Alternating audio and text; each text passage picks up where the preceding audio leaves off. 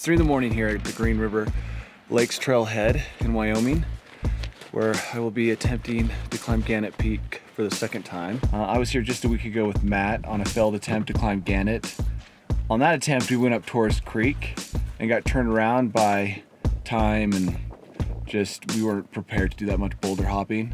Now I'm with Chase and Aaron, so I swapped out my friend uh, for two friends. And we're gonna go up Wells Creek this time. And I've got Chase and Aaron, both great strong runners, but Chase especially because he can actually climb. We're going to be running today with ropes and some climbing gear in an attempt to do Wells Creek. And there's a 100 foot section that requires that climbing gear and we're hoping that we can get past it and summit Gannett today. But today we'll be running on the Green Lakes River Trail for 10 miles, then breaking off and heading north across the river and up Wells Creek, hopefully to the summit of Gannett Peak, and then returning the same way. Should be about 20 miles of boulder hopping and scrambling and 20 miles of smooth flat trail. It's cold and I'm really hoping that it warms up to like 80 degrees by the time I have to cross that river.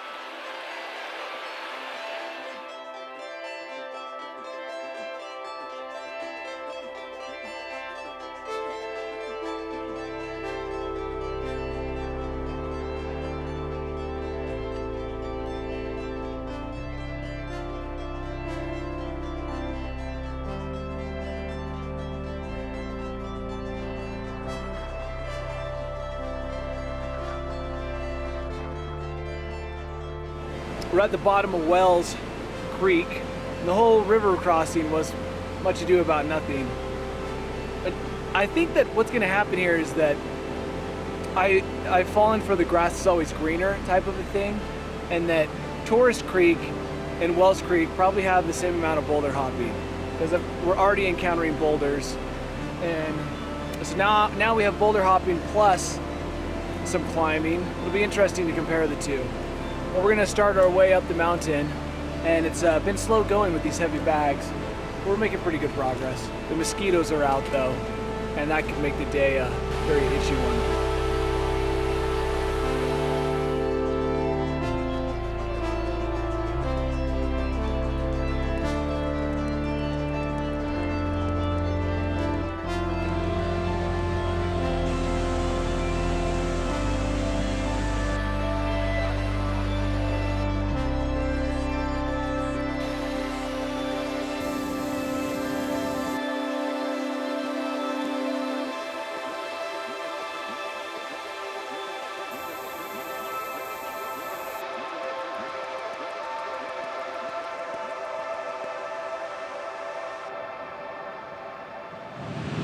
This is the whole reason we hauled two small ropes and a bunch of climbing gear up this tiny little section. There's some old fixed ropes in place that I guess if you had to, you might be willing to trust with your life.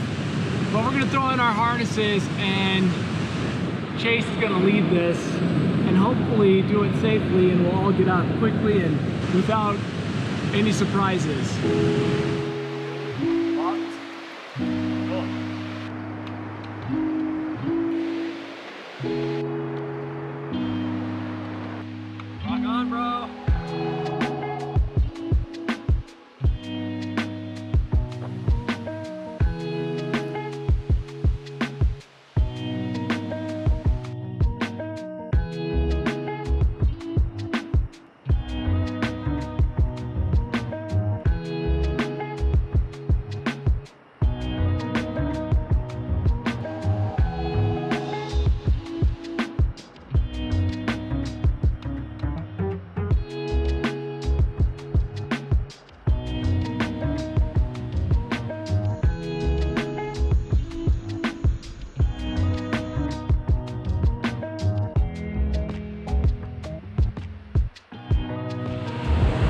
Just finished with that 100 foot crux move.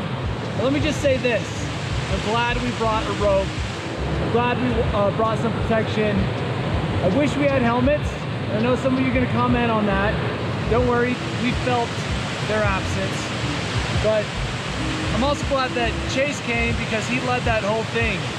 And to me, it did not feel like a 5-6. It felt like a uh, much more difficult climb. Pretty sure that I got invited on this because I have a climbing background, but consistent with the channel, I'm a mediocre amateur climber. so we are debating whether or not to bring ropes or to free solo or to bring, you know, uh, something in between. And uh, we're glad we brought ropes, some cams, some nuts. Uh, it was a lot spicier than I thought. I think we would, would have been turned around if we would have just stuck with the free solo plan. So bringing the ropes paid off, but it was a blast. Makes it so much more fun actually doing some technical stuff on these long runs. But now we're headed up the last bit of um, Wells Creek. We're almost to Mini Bug Lake, which sounds ridiculous saying that name of that lake, but that's the name of the lake.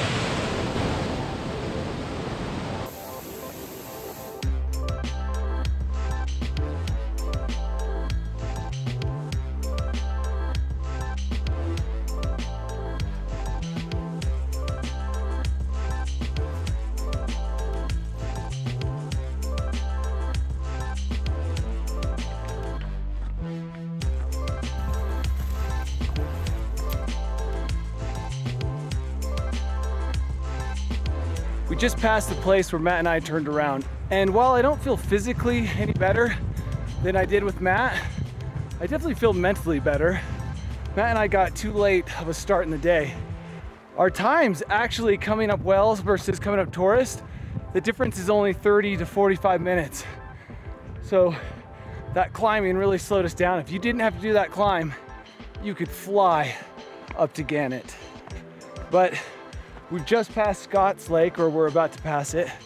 And from here on, we got the glacier, and then we'll head up Looker's Left, and then do the ridge walk. Feels so good to be here this time during the day. Turning around last time was a bitter pill to swallow, but I felt like it was a necessary one. I think Matt and I were prepared for the day we had.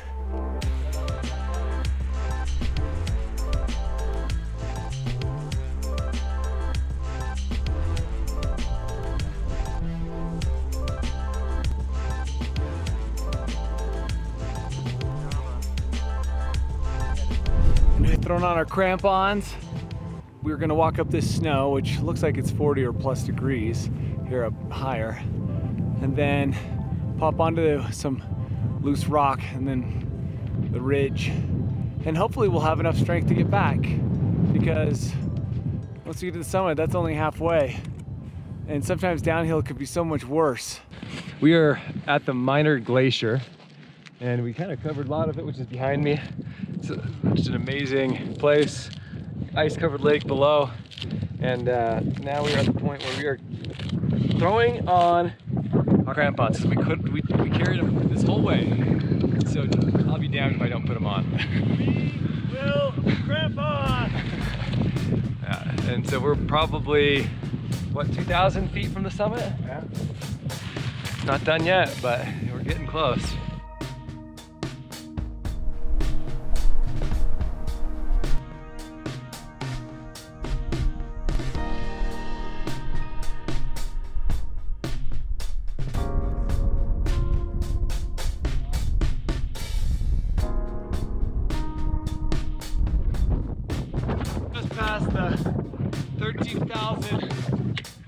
We got something like seven, 800 feet left. Slow, slow going.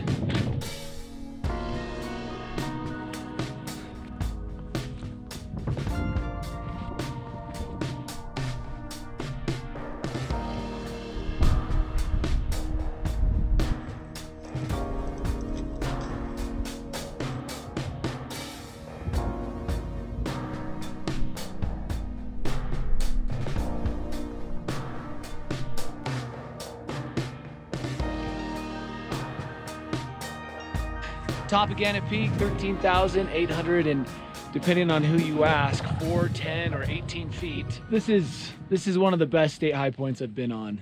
And I don't know if it has to do anything with the fact that it's also one of the hardest I've had to fight for, but it was worth coming back for a week later. We're all excited, But uh, when you stop and think about the fact that we ha now have to retrace our steps all the way back through all of that, that can seem daunting. But for now, let's just enjoy the moment. That's what we're trying to do. Just enjoy this moment. And it's an awesome moment. I, I don't recall ever being on a summit and feeling this remote at the same time. My guess is we're probably at close to 20 miles total with about 7,500 feet of climbing. We're actually doing pretty good. We're 10 hours in to our day. So we summited in about 10 hours and 20 minutes. Amazing journey to get up here. Through flat trail, a bunch of talus, to some technical climbing, past lakes, through meadows, everything in between. So I'm super stoked to be here. The whole day was amazing. The climb, the trail, everything was awesome. I guess there was a few long, steep rock fields I could have done without if I was really gonna try to be picky here.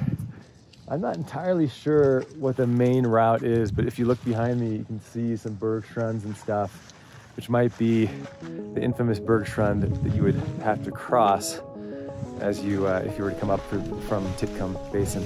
Anyway, now we're gonna head down and it's gonna be just as dangerous, probably for the next couple hours until we get back on the trail.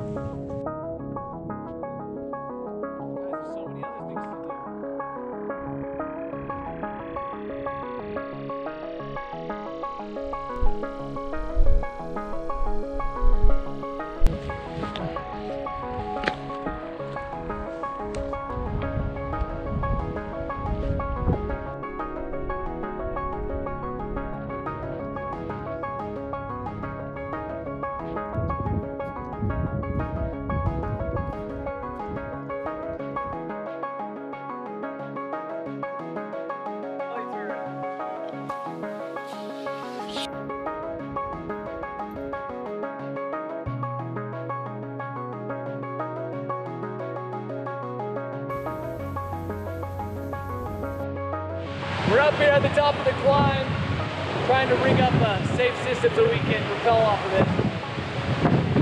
I don't know how that's working out, that's Jason's job. But we got this rappel and then a hop, skip, and a jump to the river, across the river, run the trail. Zingers in the mouth, Mountain Dew in the gut. Happy days return.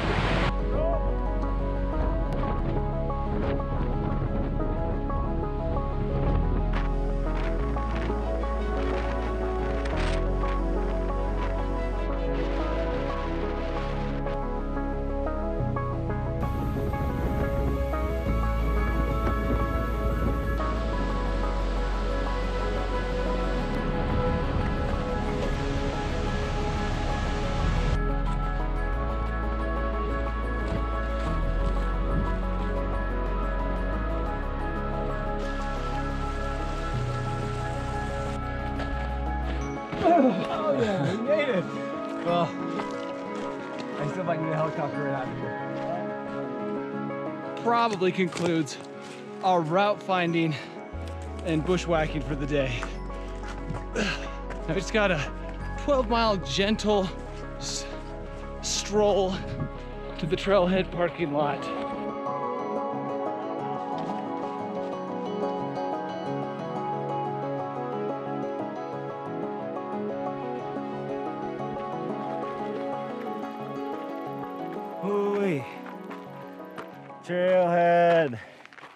Done.